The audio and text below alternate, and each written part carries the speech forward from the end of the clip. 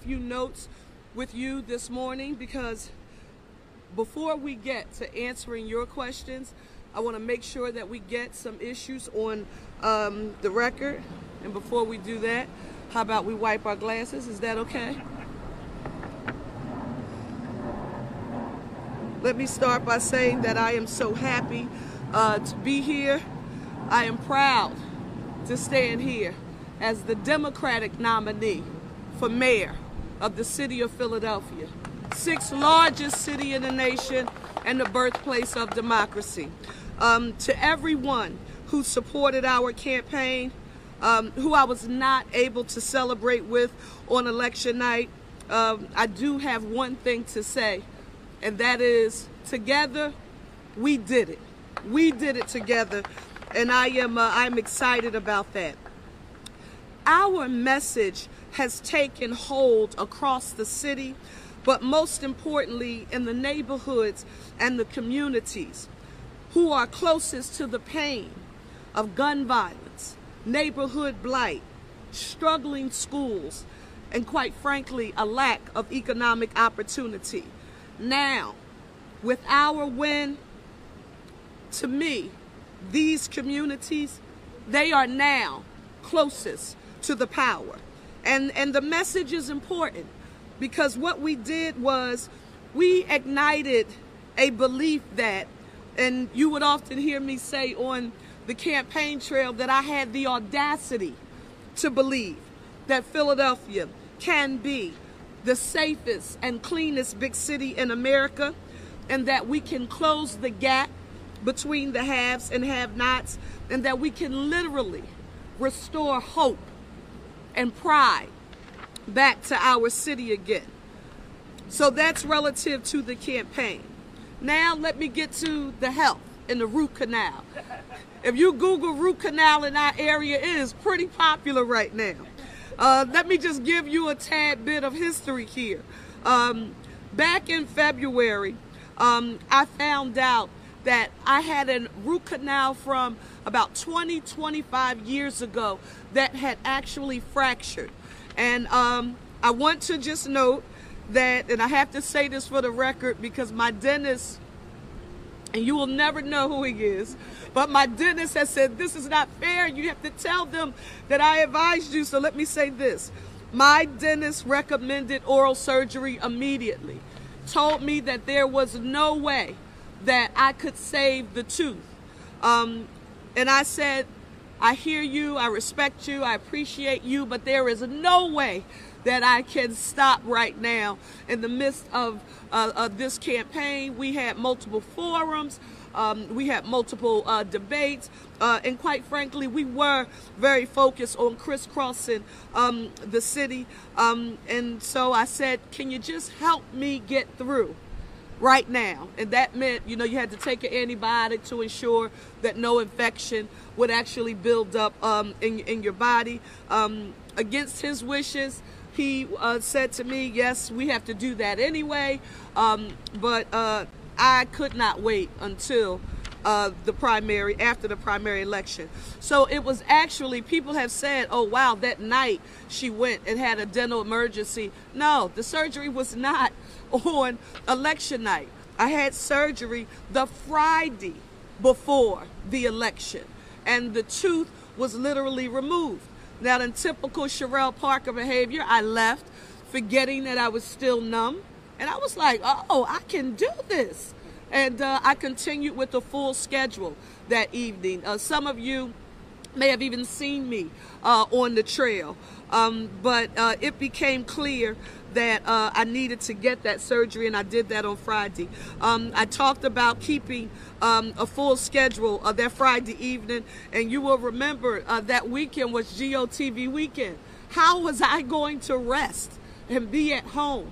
Um, uh, during GOTV weekend. We couldn't afford it, and we were able to get uh, through it. I needed to campaign, and I did not give myself time to heal. I want to acknowledge that uh, publicly. I did not.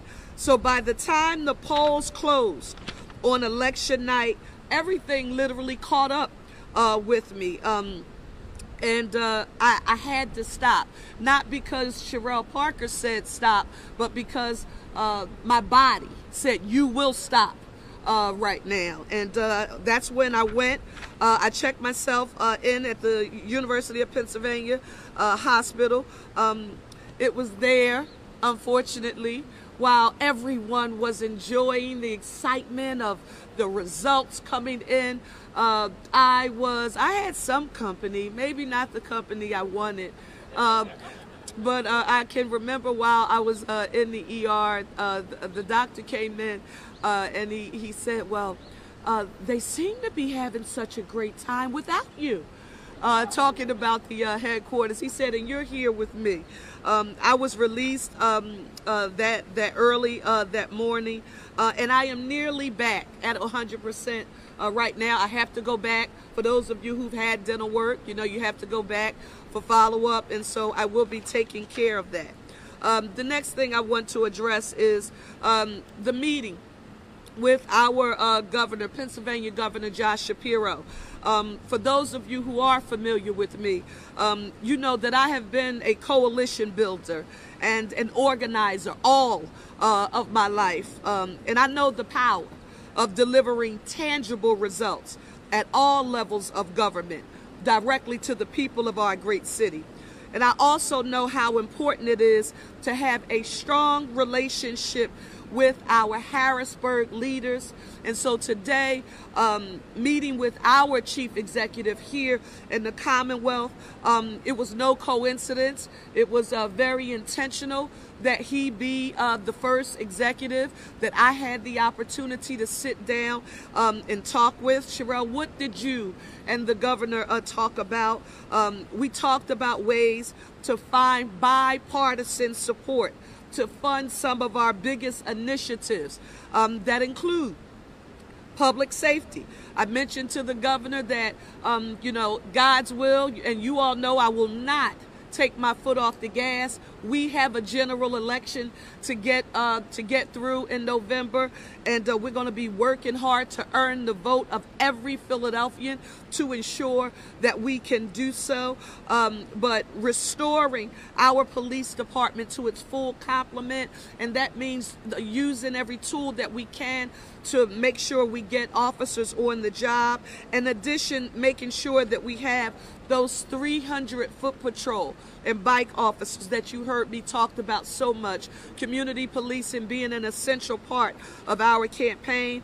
Um, we also talked about one of my my children, my baby, uh, PHLTCB, which will be the tool uh, that we attempt to use. Um, not attempt, we will to eliminate the Filthadelphia moniker uh, that has had such a strong grip um, on our city. Um, and, and we need to be, you know, picking up trash on sidewalks and, uh, and on our streets. And we need to do that around the clock. So, sanitation, when you think about sanitation workers and their pickup, that will have to increase dramatically um, in order for us to allow Philadelphians to see a culture of, of trash and uh, you know, be changed in our city, and we're going to work to do that. The next thing that we talked about was economic opportunity, uh, funding support for small businesses, uh, raising the minimum wage, um, and, and using uh, resources um, at an intergovernmental level. How do we access federal, state, and even local resources and leverage them all um, to ignite equity investments? Notice that you did not hear me talk about loans. If you talk to uh, business owners, particularly in black and brown communities, access to a loan is not what has prevented them from growing. It's been access to equity capital to give them the opportunity to grow. Um, and finally, um, and the governor and I, and this has been the case and you know, for those of you who don't know, he and I have worked together uh, for many, many years. And his love for public education, my love for public education as a former uh, English teacher, um, those shared values, they go back a long ways. And we talked about the Commonwealth Court decision. Um, we talked about um, the potential um, resources uh, that are needed to address the infrastructure challenges here in our city, particularly with the uh, the building of our schools. Um, we, we talked about being innovative and creative uh, with our scheduling for, for education and how we deliver public education uh, in the city. Um, and, and, and finally, there not being sort of an us versus them, uh, you know, perspective as it relates to advocacy uh, for public education in the city, but doing our best to make sure we're focused on quality seats with quality instruction in 21st century modern buildings. Um, and finally, he and I talked about uh, working together, um, establishing a work group with key state officials and um, members of the uh, administration, and uh, I'm excited um, about that. Um, I'm going to right now, I will, well, I do want to go through this last bullet. Two, I'll skip because somebody's going to ask a question and I want to have to repeat myself, so I'll save it to respond to your question. But I want to mention this. A lot of people have asked me, you know, aside from your health, Cherelle, and feeling better, what do you feel that the, the most pressing issue is that you face right now as the Democratic nominee for mayor of the city of Philadelphia? And I have been uh, very clear in affirming that right now, this is the unifying moment here in our city. I don't care who you uh, voted for. I don't care what section of the city uh, you live in, your zip code, what your political philosophy or ideology is, our democratic process. Um, you know, we work through it. Uh, we now have the results, and we need all of Philadelphia to unify in order to move our city uh, forward. And uh, with that being said, um, you know, I want to note that one of the hallmarks of my time as an elected, it has always been to bring people together who don't always uh, agree on everything. And this was something that you have to blame on Harrisburg, where I didn't have a luxury of saying either it's my way or the highway. I literally had to do things the old fashioned way sit down and have a conversation with people and figure out how we get to yes. Um, and that didn't stop during our campaign. Um, they are not here, but I want to say um, to my former colleagues who suspended their campaigns and uh, who were uh, very uh, much uh, involved in, in, helping us to get to this point. As council member, former council member Derek Green, a longtime friend, colleague, and, and, and, quite frankly, we work together. Uh, you know, for the boss lady of all boss ladies, Councilwoman uh, Marian Tasco. Uh, DG, uh, you know, I'm so grateful for your support. Um, Maria Quinones Sanchez, uh, MQS. Um, I want you to know that uh, I am excited and looking forward to working um, with you all and also to the other uh, candidates.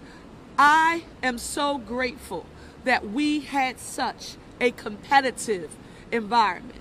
Um, uh, people uh, have said uh, to me, Cherelle, that you know it was a thousand people you know, running for mayor of Philadelphia. You know, did you like it? I love the idea that people had a chance to hear different perspectives, um, to hear different prescriptions being offered as solutions to problems facing our city. I thank each of them um, for rolling up their sleeves and doing what uh, Roosevelt would say, getting in the arena of standing up to the scrutiny, answering the questions, and putting their best foot forward. To each of them, I want you to know I thank you so very much. Um, I did have a two or three day uh, lag as a result of our health challenges, but uh, they uh, do know that we will all be uh, getting together because I will be looking forward to work working with each and every um, one of them, along with our legislative leaders at the uh, local, state, and uh, federal level.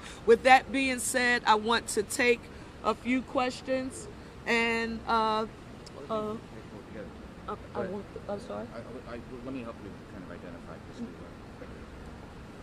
Let me, excuse me, let me uh, see here. Um, I just saw someone. Oh, a gentleman was here and he had his hands raised. Where was the Tribune? They just somebody was here and they just had their hands raised. They must have disappeared um, that fast. Yes. Um, can you talk a little bit more about what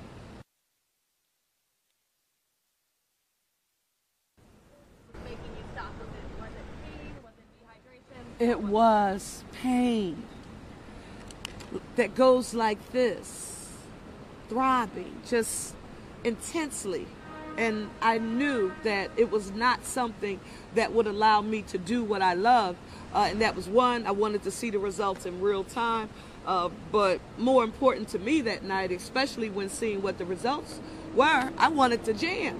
And I couldn't jam that night because my, my jaw was was thriving, and uh, it, it required that I that I go to the hospital. And you've been treated and you're not experiencing pain anymore? Well, no, I listen. I do have to do follow up because I think that there's some more things that um, that I, I need to need to work on. But we're we're doing we're doing well.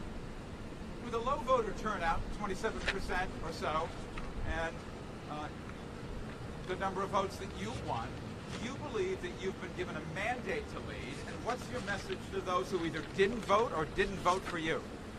Um, let me let me note for the record, Jeff, I appreciate that question, and it's uh, it's actually a, a, a very good one. Um, we had a higher turnout than the last open mayoral primary. Let me state that for the record. I want to just say that one more time because sometimes when people read things in the paper, um, those facts aren't you know quite as clear as we would like them to be. Um, we had higher turnout than the last open mayoral primary. However, turnout should be much higher than the 27% that we saw last week. And I would argue to each of you that is why this meeting today with Governor Shapiro was essential. Uh, low turnout to me translates into, equates to apathy, frustration, lack of hope, uh, believing in government and they don't feel that a difference go vote why now i'm not ever telling you that i believe that that is an excuse it is not a, an excuse but i know i will um, be super focused um, intensely focused on ensuring that people, Philadelphians, get a chance to see their tax dollars at work in their neighborhoods, and that will help to make them believers. Finally, I wanted to uh, say this. I did get some calls and text messages from some people who says, Cherelle, your old council district, the ninth district, they really showed up uh, and showed out um, and supported you. You know, your old uh, state house district boundaries, you really got a lot of support there. Listen, I want to be very clear. The reason that is, it, it doesn't happen through osmosis. It's because the people who live there, they have grown accustomed to making a connection between government, the, the delivery of city services, and what it means to their lives. Um, the the converse is also true, right? If you don't believe that government can work for you, then you don't participate in the process, Jeff. And and too many Philadelphians don't believe that government can work for them, and we're going to be working very hard to change that narrative. Like, all this is really brilliant. What does this now look like in, in terms of convincing people who did not vote for you that your vision is the right one? One, it, it means that we will be uh, sitting down. Of course, you heard me mention all of the uh, the candidates for mayor of the city of Philadelphia and talking with them. Um, we will also make sure that we are continue to be in every community, communicating with stakeholders. Now, for those of you who know me, I am a well structured and I'm a I believe in organization, and I won't do anything haphazard. So, if we are meeting with small business owners uh, here in our city, I may do that by council district and have a meeting with small business owners per council district, faith-based uh, leaders, uh, business leaders here in our city, the philanthropic community. Why, why are all of these key stakeholders essential? Because we are not a monolith. And if anyone, I, you know, you've heard me say throughout the campaign and you know, I'm not going to be a, a, a candidate who's concerned about being politically correct. I'm always going to give you my authentic self, no matter how much it pains some people, even when I speak about myself in third party. Um, but but let me say this: people want to know that you hear them. They do not want policy prescriptions being, um, you know, implemented, designed and implemented without knowing that you hear them. Now, while we're going to listen to all stakeholders, I also want you to know that there are going to be some people who are not going to like, uh, you know, some of my decision making. Um, and or uh, again the policy plans that I will be proffering that you will hear in much more detail um, as we we proceed closer to the general election. But always know, no one will ever be able to say that Cherelle Parker did not hear them, even when we may agree to disagree.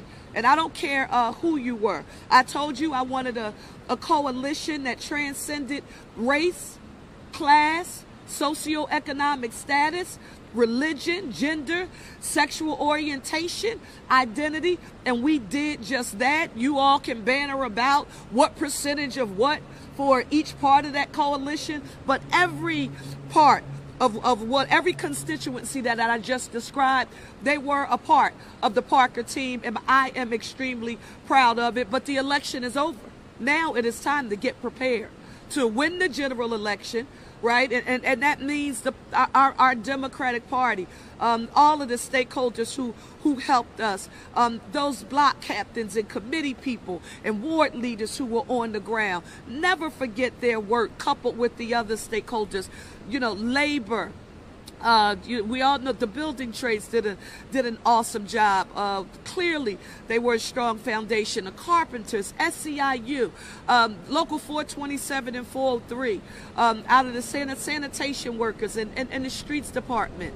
Um, can't think of the local uh, Sincere and Aaron, but Fred Wright comes to mind. A local out of District Council uh, 47. All of those folks who were uh, uh, uh an essential part of uh, allowing us to uh, have this victory. There, they're the foundation of the coalition. But now the coalition includes all of Philadelphia, and I won't have it any other way. Yes. Once, I'm sorry will you balance the need to hit the ground running, get this transition going, while still facing another election? Well, now, but Pat, that is an essential question. One of the things that I am working on right now, because that structure is extremely important, and quite frankly, I can't wait until uh, you know when is the general elections? November the seventh. So I, you know, I can't wait to November the eighth to to begin working to put uh, all that we need to put in, in order uh, together. So I'm working on actually building a formal structure a formal structure outside of the politics, outside of my campaign structure that will actually give me the ability to staff up because I can't do all of this alone. I will need staff to actually carry through the organization of the meetings with the stakeholders, uh, plans that we have to put together.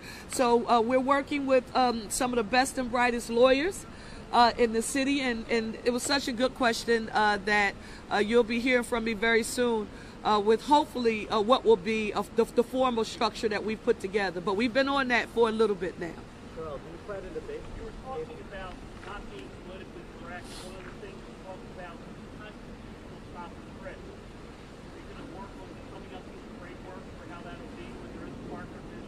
One of the things that you heard me say that unconstitutional stop and frisk in the city uh, is is not legal because Cherelle Parker formally introduced the legislation in our city to say that there is no place for unconstitutional stop and frisk. With that being said, Terry stops are what I wholeheartedly embrace as a tool that law enforcement needs to make the public safety of our city their number one priority. It is a legal tool. A crime must be uh, committed or they must know that it is going uh, to be committed in order for them to have the just cause and reasonable suspicion to stop someone. They are called Terry stops. There are people who consistently want to use stop and frisk as because it's um it's it's it's it's a very uh, intense uh, and quite frankly, it's painful, particularly for black people like me, right? And a mother of a 10 year old black boy, um, and, and coming, you know, living at the intersection of race and gender all of my life. I know what it's like, and I've seen what it's like, particularly when I've had black men, you know, who I've loved and cared about, stopped, right, for no apparent reason other than the fact uh, that they were black They were black men. I know what that feels like. And again, we get through the general election, and under no circumstances will that kind of behavior be allowed to exist in the Parker administration. I just won't tolerate it. But I'm also going to make sure that Terry stops and every other legal tool that is needed, uh, paired with great training, right? And zero tolerance for any misuse and or abuse of authority is available for our, our, our police department. I'm sorry. Uh, we will get through into a general election. I will then work formally with my campaign team, and we will decide what the parameters are for uh, how that uh, will go. But we will work on that then. Yes, Aldia.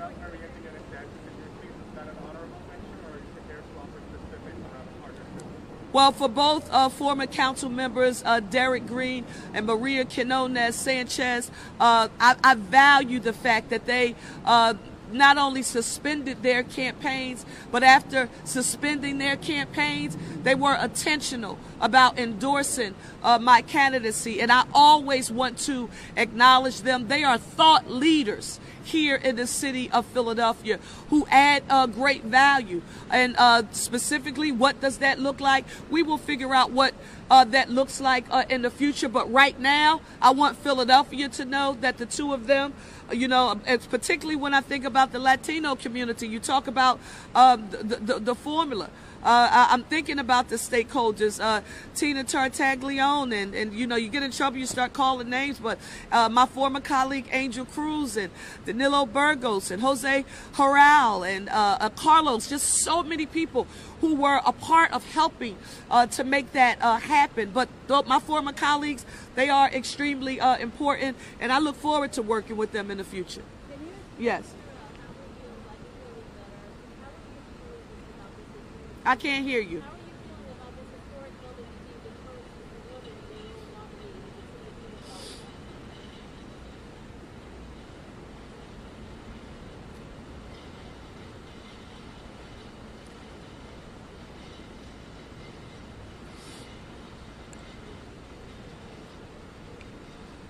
Many people access to an opportunity is when someone has laid a concrete path. And for me, that would be concrete pavers that will give a generation of, of girls, black girls, Latino girls, other girls of color, white girls. I don't care what kind of girls. And the girl dads, they like really are excited. Right? I, I have three daughters and you have to come and meet my three daughters. So I'm really excited. It's not just the moms and the daughters. The, the girl dads are excited too. And um, I, I'm, I'm excited about it. Um, but, but I'm also excited to, to know that I didn't get here alone. I'm not, I'm not superwoman.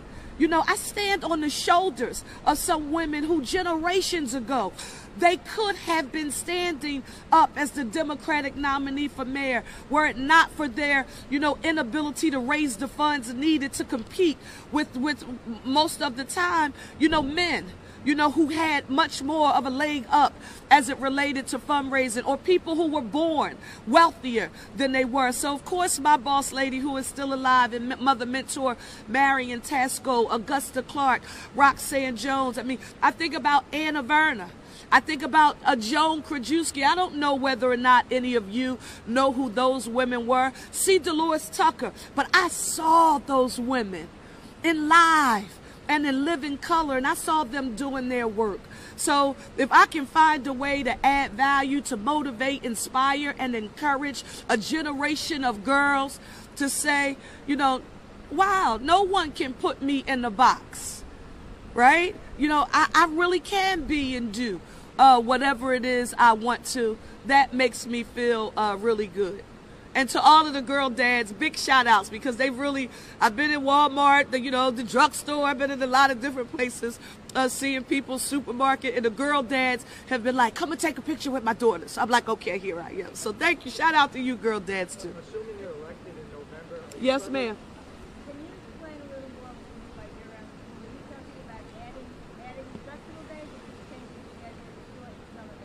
Well, you know, I thank you so very much for uh, that question. It's been so uh, interesting listening to people infer what, what it means without asking the question. So the one thing that it doesn't mean that I thought I made clear on the campaign trail is that our children would be sitting at a traditional school desk at a in a traditional classroom from 7:30 in the morning to 6 o'clock, you know, at night with a traditional instructor. If that is how you interpreted my my uh, recommendation that this be something that we, uh, you know, explore and potentially use here in the city of Philadelphia, you've gotten it all wrong. Some of the things that you heard me talk about was school opening. Not listen, this is not just for educational opportunity. These are also economic development issues. Schools open at 7:30 as early as 7:30 in the morning because parents need to get to work. We, we forget. We, we tell parents we want them on a path to self-sufficiency and we want to connect you to an employment opportunity that will, you know, pay you a living wage, health care, retirement security. Oh, but by the way, school doesn't open up until nine o'clock. Give me a break uh, uh, here. So we want school open as early as 7.30 and open as late as 6 p.m. And what do you want to see in those schools, Cherelle? I want to see everything that I see available um, that was available when, you know, I was uh, in school and, and some additional, especially when it comes to the technology in the in the fin, fin, uh, financial literacy, the coding I want to see in school, but I also want to see the building trades, and that was a huge part of the platform um, that was so uh, well embraced um, by Philadelphians from all walks of life in understanding that all of our children are not interested in taking the traditional collegiate uh, path to the and that they wanted to have access uh, to those careers uh, available in the building trades. And to have the building trades willing to you know say listen we know that this is a part of your platform and you know we want to help you. And as a matter of fact these are some ways. That gives us something to look forward to. So let's just talk about when you think of year-round schooling under a Parker administration um, and I was happy to see the superintendent talk about a potential pilot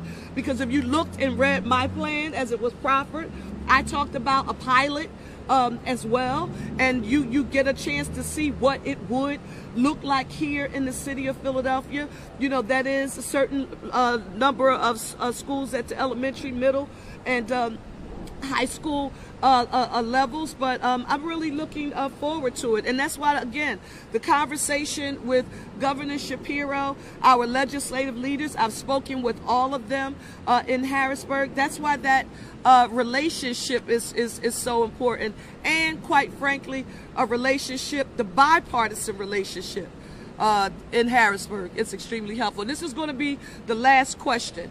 Last question. Yes, ma'am.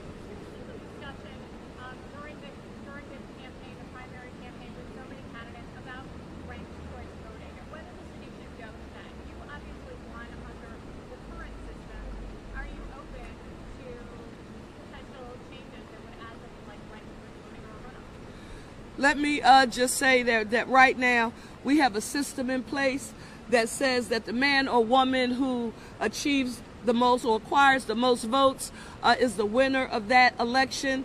Um, and I support that process. Um, I will uh, take a look at lots of uh, other prescriptions in the future.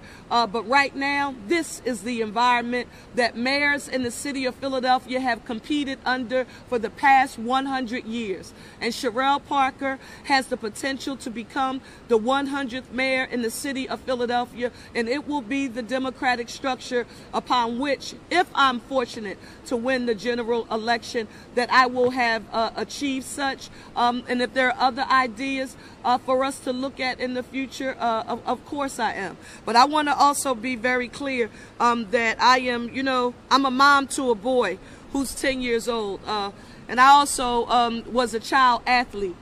I ran track and uh, I was a cheerleader. And um, I also don't believe in giving trophies just because everyone doesn't get a trophy. You dignity doesn't come from everyone getting a trophy. Dignity comes when you work hard in a race, right? And and you run, and and a, a race of any kind, no matter what it is. Uh, and so that prescription uh, is one um, that I support. But as usual, you know, you're never going to hear me say that my mind is closed to any thought or idea. I'm always um, open to hearing other ideas and thoughts. Listen, I want to thank you all so, so very much for being uh, here uh, today. Um, and you will talk with us uh, much, much more. Thank you so very much and have a good one.